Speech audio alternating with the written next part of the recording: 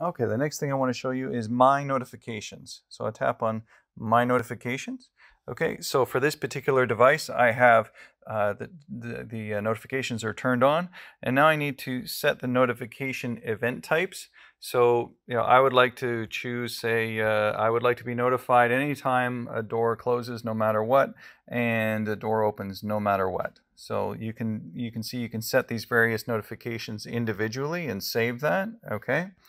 Um, I can also set schedules of when I want to be notified and when I don't want to be notified.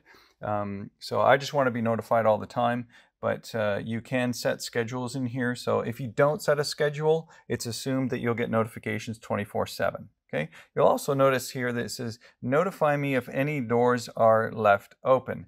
If I click on that, I can set for how long. So let's say, uh, you know, if any doors are left open for, let's choose five minutes, okay?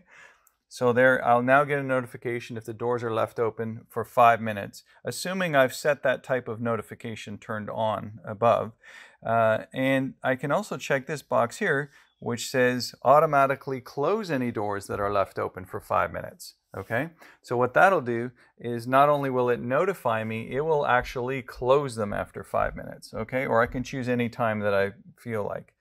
Okay, and then finally the last one is verbal notifications. So instead of a voice telling me that the door has been left open or closed, I can turn that off or uncheck it, and then I'll just get a notification sound versus a verbal notification.